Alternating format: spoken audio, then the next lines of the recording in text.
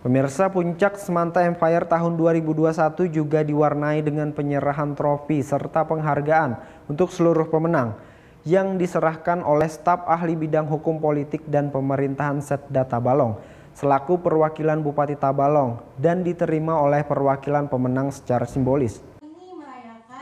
Setelah sebulan berlangsung, Semanta Empire 2021 dalam memperingati hari jadi ke-55 SMA Negeri 1 Tanjung tiba pada hari puncak 24 Maret 2021. Pada acara puncak yang sekaligus merupakan penutupan ini, panitia Semanta Empire melakukan penyerahan trofi dan penghargaan pada para pemenang lomba. Pasalnya melalui Semanta Empire, penyelenggara menggelar berbagai lomba yang dibuka bagi seluruh siswa se-Kalimantan Selatan. Namun karena pandemi COVID-19, penyerahan hadiah hanya dilakukan simbolis oleh Pemkap Tabalong yang diwakili staf ahli bidang hukum politik dan pemerintahan Setda Tabalong. Muklis Redani bersama Kepala Sekolah SMA Negeri 1 Tanjung Wagimin kepada perwakilan pemenang. Belasan lomba di event Semanta Empire 2021 tahun ini diikuti 48 sekolah yang ada di Kalimantan Selatan. Dari berbagai jenis lomba, MAN 4 Tabalong memenangkan kategori Hapsi, MAN 1 HST Tilawah, MTSN 4 Tabalong memenangkan lomba dai, SMAN 1 Upau Dance Etnik, MA Darul Istiqomah Aerosion, SMA 1 Barabai Film Pendek, SMAN 2 Tanjung Bakisah Bahasa Banjar, SDN 1.5